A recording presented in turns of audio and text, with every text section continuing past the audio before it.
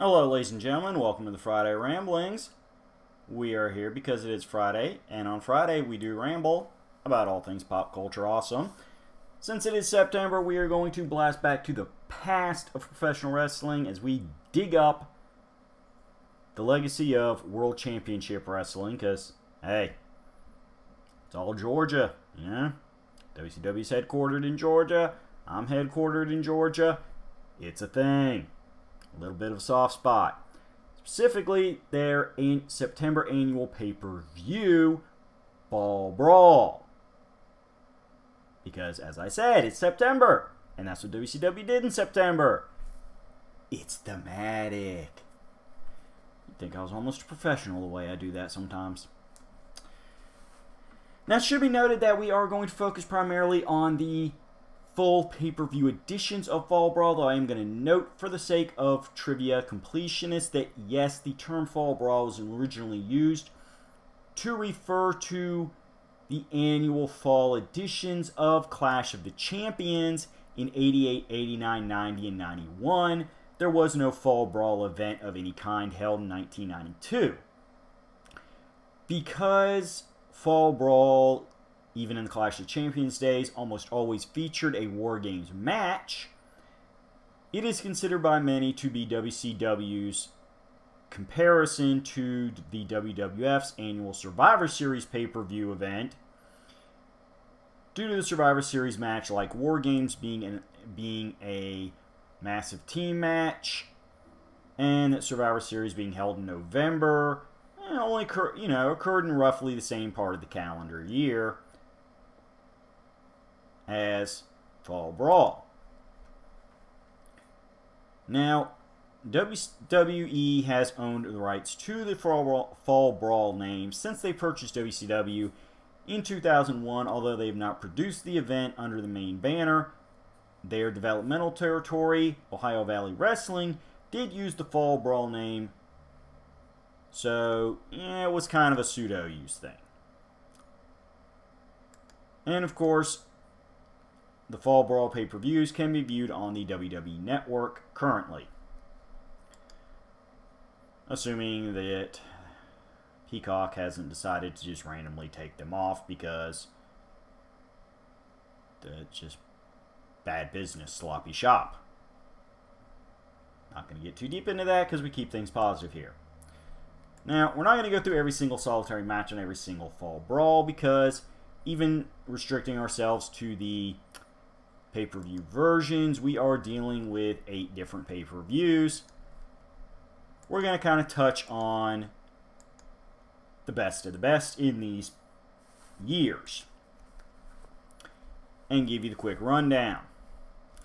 So the original Fall Brawl, subtitled War Games, was in 1993 and took place at the Astro Arena in Houston, Texas. Eight matches were contested at the event,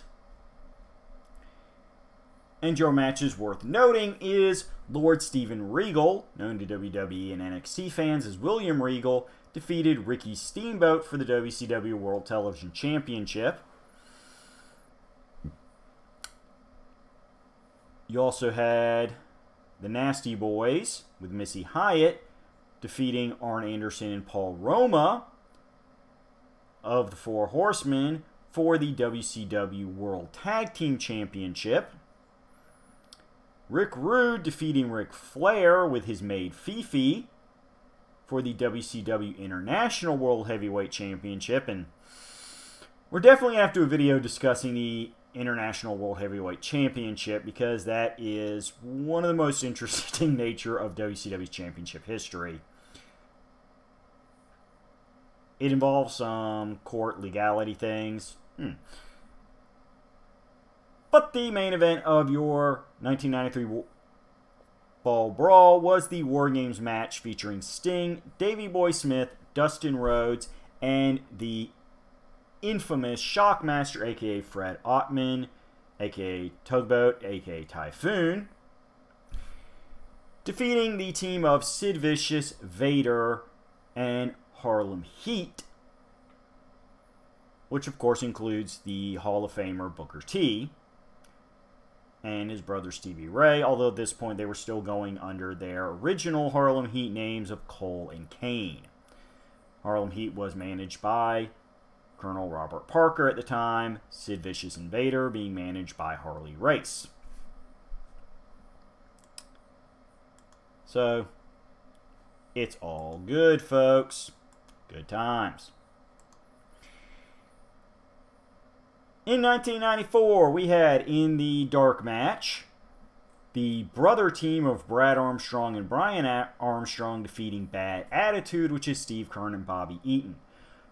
For those of you trivia nuts, Bad Attitude was an interesting team because Steve Keirn and Bobby Eaton, may he rest in peace, it has still been very soon since Bobby Eaton passed on.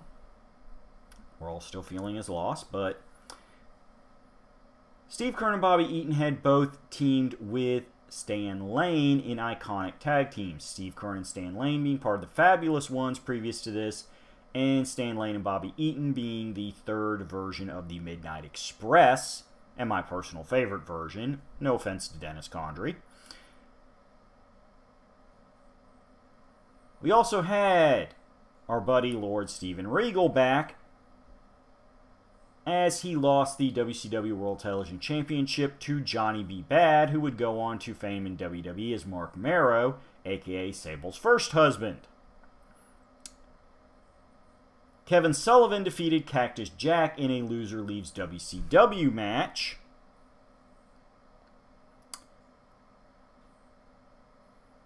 Which, you know, that's what you did when it was time for a wrestler to go to another promotion. They lost a loser leaves town match, or in this case, loser leaves company. Jim Duggan defeated Steve Austin for the WCW United States Heavyweight Championship in 35 seconds in what many people consider to be one of the worst booked moments of Steve Austin's career. Yes, this was still a few years out from his WWF run as Stone Cold Steve Austin and him being one of the most popular wrestlers in the world. However, this was in the last years of Jim Duggan's in ring career and it was seen pretty much as the booking team putting Hulk Hogan and his former WWF buddies over their homegrown talent. This would be one of the reasons why Steve Austin definitely was not too sad to leave WCW shortly thereafter.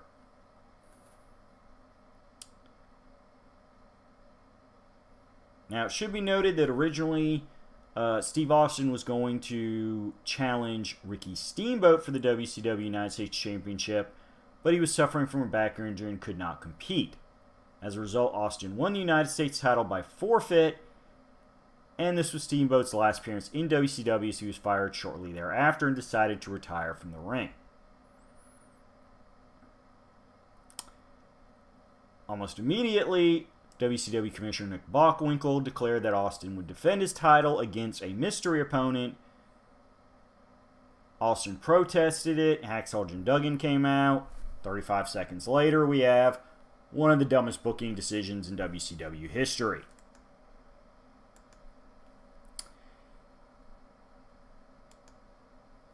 But we are moving on.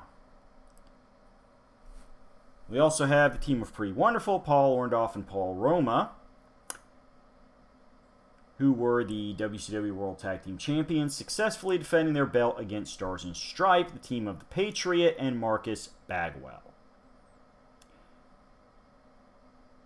Vader defeated Sting and the Guardian Angel to determine the number one contender for the WCW World Heavyweight Championship.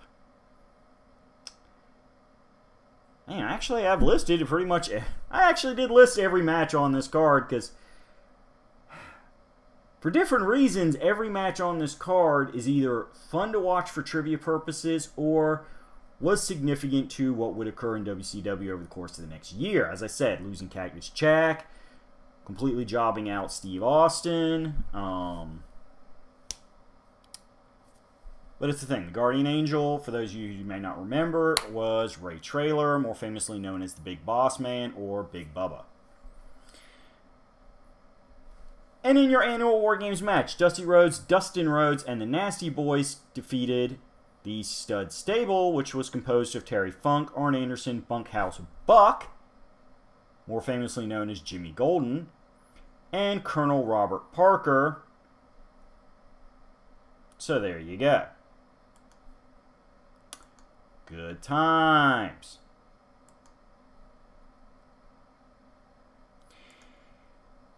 However, we do move on to 1995, where, as I said, things changed. starters, there's not nearly as many highlight matches, although Johnny B. Badd defeating Brian Pillman is worth seeing because it is a almost 30 minute match, and frankly put, Brian Pillman is always worth watching wrestle, especially in WCW, as this was before his ankle injury that would prevent him from doing a lot of the great high flying wrestling in ECW and WWF that he became famous for.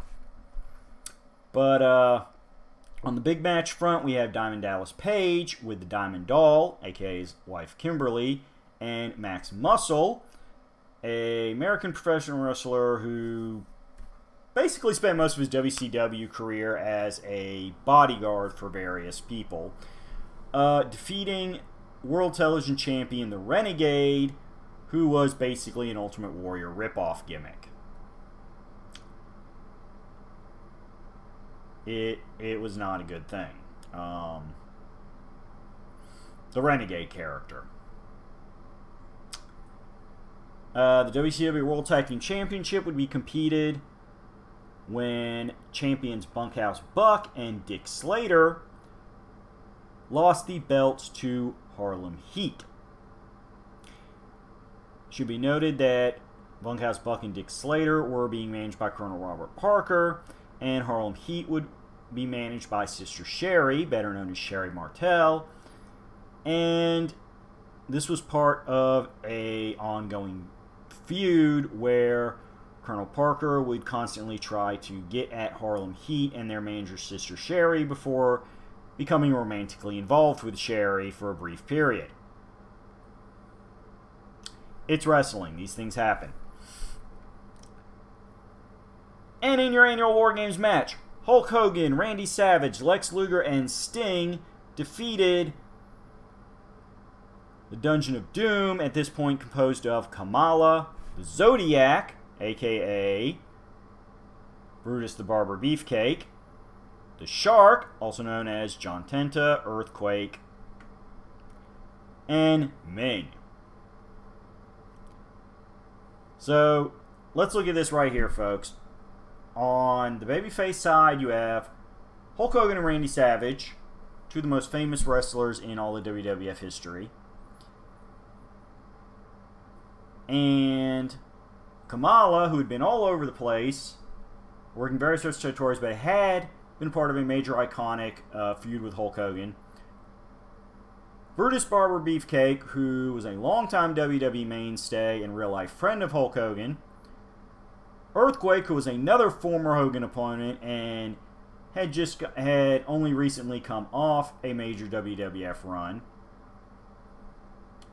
So, two members of the babyface team and three members of the heel team, frankly put, were known to most people as WWF guys.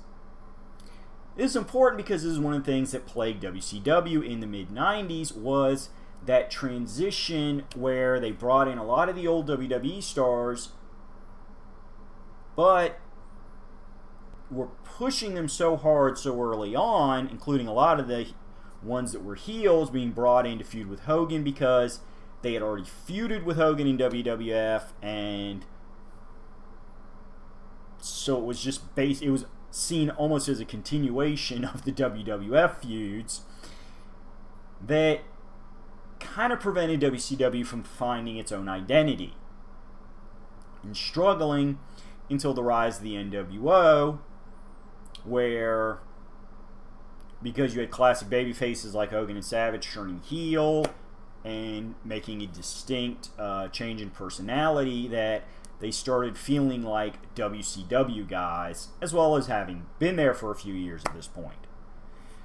is part of why, as I said, there's not nearly as many iconic matches worth watching in this uh, particular year because 95 was kind of one of the worst years for WCW. Now, to move things along, here's what you got in 1996. Diamond Dallas Page fought Chavo Guerrero Jr. in a great 13 minute opening match that highlighted the future awesomeness both men would show in WCW. Um, Konnan as the AAA Heavyweight Championship. Those of you who are not super big wrestling fans, AAA is one of the two most important promotions in Mexico. It is not the place you call when your car busts, busts a tire on the side of the highway. But he did defend his title against Juventud Guerrera.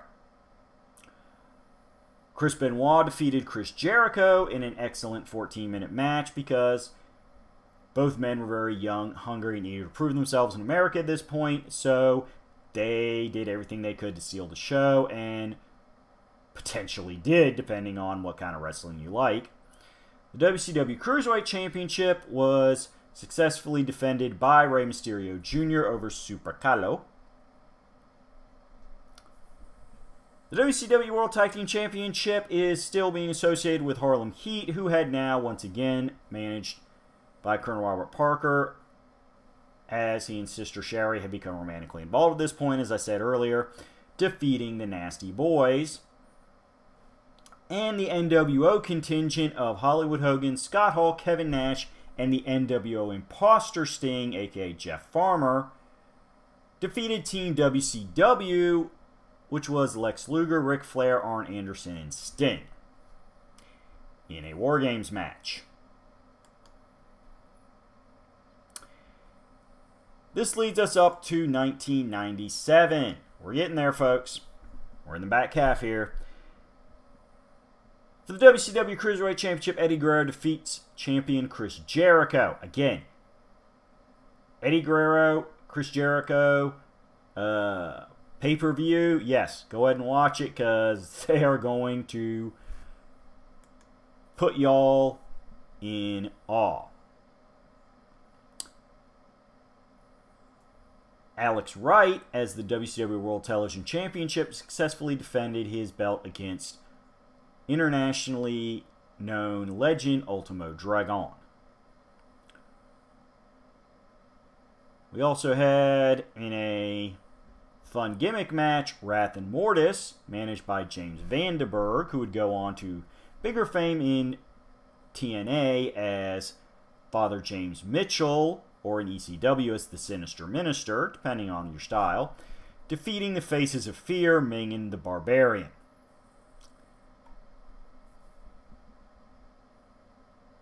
Finally, the only the big match is worth noting is a 20 minute match in which the NWO, this time fielded by Buff Bagwell, Kevin Nash, Syxx, and Konnan, defeating the Four Horsemen Chris Benoit, Steve McMichael, Ric Flair, and Curt Hennig. This would be the infamous War Games match in which the only recently recruited Curt Hennig turned on the Four Horsemen to join the NWO, making it functionally a 5 on 3 handicap match, and in my personal opinion, signaled the death of the Four Horsemen because this was the first time that somebody had turned their back on the four horsemen. Traditionally, if somebody left the horsemen, it was the horsemen kicking them out. Curt Hennig joining the group and almost immediately betraying them signified the end of the four horsemen on a psychological level as they were no longer seen as the group everybody wanted to be affiliated with that torch now belonged to the NWO. The horror for the the four horsemen were officially yesterday's news. Unfortunately, the team would continue to exist, but it would never be the same. They were forever after relegated to more mid card and jobber to the star acts because, hey, it was NWO or bust for the WCW bookers, and Yeah, it's been what, 20 years since the company got bought out? Yeah, those great booking ideas, you jackasses. But again, we do try to remain positive on this wonderful program. So we get into 1998. For the WCW World Television Championship, you should check out Chris Jericho uh, as part of his very one-sided one-man angle against Goldberg, defeating a Goldberg impersonator by submission. It is a minute and 15 seconds, but it is it is heel Chris Jericho at his annoying worst, which means it's awesome. You have Rick Steiner fighting Scott Steiner to a no contest, which is mostly just interesting to watch for the sake it is a rare time where the Steiner brothers were feuding with each other instead of teaming with each other. But more importantly, he had carried the stip that had Scott Steiner refused to wrestle his brother, he would have been permanently banned from WCW.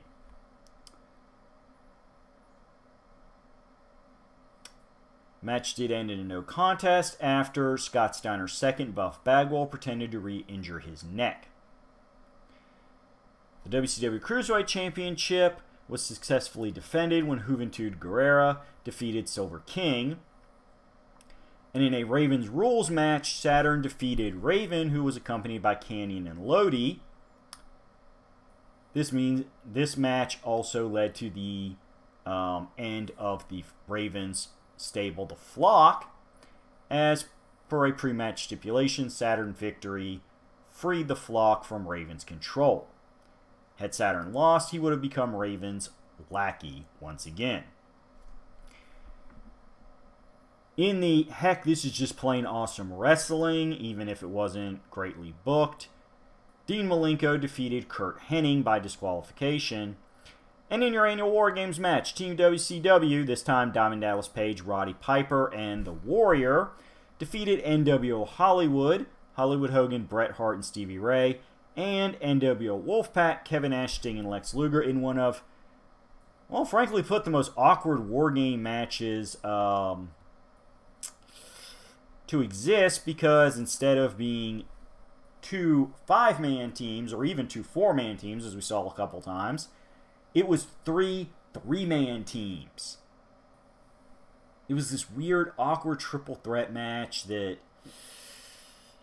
it just it didn't work. I've seen the match. It's it was a decent WCW match, especially by that year's standards where the in-ring product was really starting to suffer, but I mean, War Games should never be a triple threat match and it certainly shouldn't be three man teams. You know, the four was kind of pushing it. It's classically five man teams, similar to the Survivor Series, but with the right wrestlers, you can get away with a four on four match. But a three on three on three match, it's just, yeah. For starters, you can't do the, the man advantage, which is, um, again, for people who don't know War Games, um, War Game starts out as a one-on-one match, and every few minutes, one member of one team enters.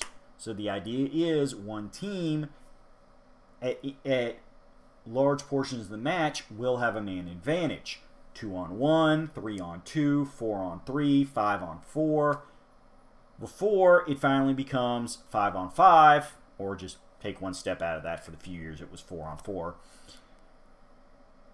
Which is when the match officially begins the match beyond, as Dusty Rhodes would pitch it when he created the match in the 80s. And it's only at that point when every man on every team is legally entered that you can win the match. But see, in a triple threat, you can't really do that because the math gets all screwy wombly. Still, bring ourselves to 1999. Uh, your significant matches are champion Lenny Lane defeated Kaz Hayashi for the WCW Cruiserweight Championship. World Television Champion Rick Steiner defeated Perry Saturn. the WCW World Tag Team Championship, which is once again held by Harlem Heat. They spent a lot of time as tag team champions in WCW. One of the few things WCW consistently booked right, which was Harlem Heat, who had existed in some smaller promotions before, but were by and large considered by fans to be homegrown talents, constantly either being champions or in championship contention. They defeated the West Texas Rednecks, this, um, which was Barry Windham and his brother Kendall Windham, with Curt Hennig in their corner. Uh, the West Texas Rednecks had been the champions, so we did see the titles change hands. Um, real sec, because I do not remember who the West Texas Rednecks beat. Uh, let me see. Um, okay, they had actually beaten Harlem Heat um, at the previous Road Wild pay per view. So they had held. So the West Texas Rednecks had held the title for uh, about three weeks before losing it back to the Harlem Heat at Fall Brawl. So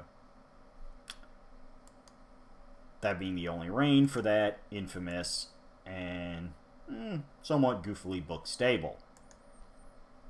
Still, if you want to know the best thing about the West Texas Rednecks, go YouTube uh, Rap is Crap. For the WCW United States Heavyweight Championship, Sid Vicious defeated champion Chris Benoit. And we, we have a fall brawl without a War Games. Where's my War Games? Where's my War Games?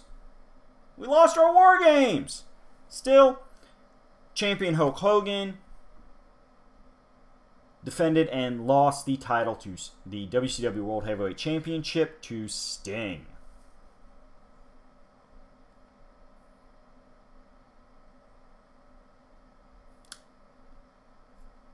Good times. So that brings us to the final Fall Brawl, which took place in 2000 at the HSBC Arena in Buffalo, New York.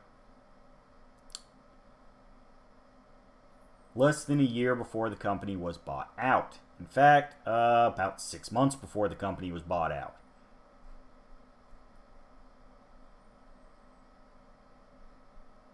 Your important matches of note is WCW Cruiserweight Championship held by Elix Skipper was successfully defended against Kwee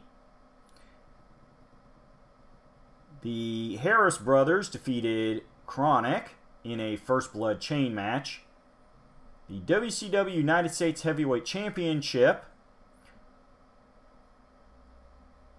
was up for grabs as champion Lance Storm defeated General Rection, aka Hugh Morris. In the closest thing we would get to a War Games match this year, Filthy Animals, this uh, being Rey Mysterio Jr., Juventud Guerrera, Konnan, and Tygress, along with Disco, aka Disco Inferno, Big Vito, and Paul Orndorff fought the Natural Born Thrillers, Mark Jindrak, Sean O'Haire, Mike Sanders, Chuck Palumbo, Shawn Stasiak, Reno, and Johnny the Bull to a 16 and a half minute no contest.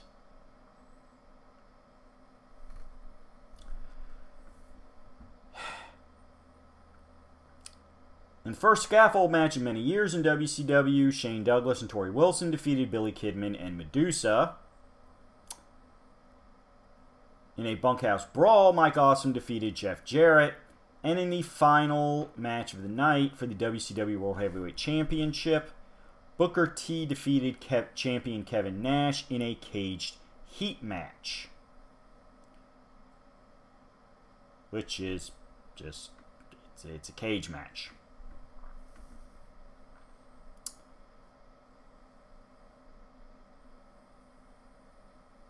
And we'll go ahead, since we got a few minutes, let's, let's discuss the eliminations in the Not Quite War Games match.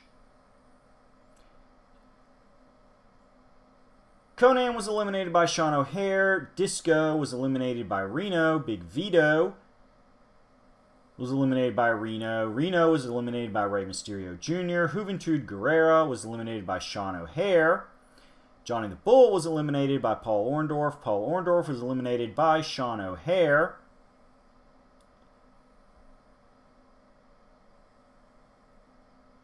And at that point, the match was canceled due to Orndorff suffering a stinger while pile driving Jindrak. Um, a stinger, also called a burner or nerve pinch injury, is a neurological injury suffered by athletes in high contact sports. Um,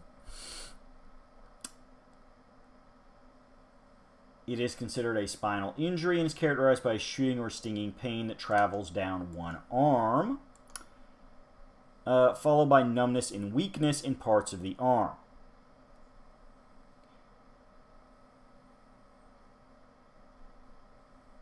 It's kind of an infamous thing because sometimes stingers can be recovered from pretty quickly, depending on the age and uh, physical durability of the athlete in question.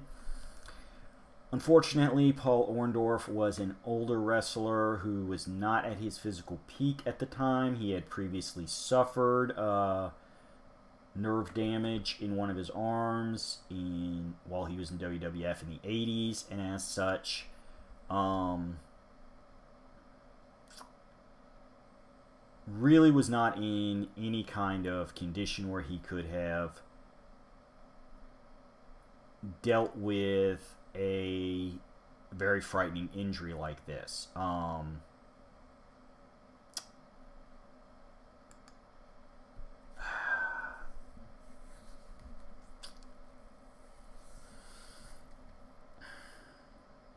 Uh, this was Orndorff's retirement. It was a horrible way for an iconic wrestler to go, and it reinforces something that I um, really wasn't planning on talking about tonight because I forgot this Fall Brawl was where Orndorff had his stinger that encouraged him to retire, but it, it's one of those things that I really dislike about the so-called indie style of wrestling and that is that you've got, you've got guys that are younger and younger suffering stingers and concussions and other injuries where it's you know they're having to have things like you know neck surgeries and spinal fusion surgeries you know some of them before they're 30 and i mean just the idea of having to have a neck injury from not even like one big thing, like what Steve Austin had, and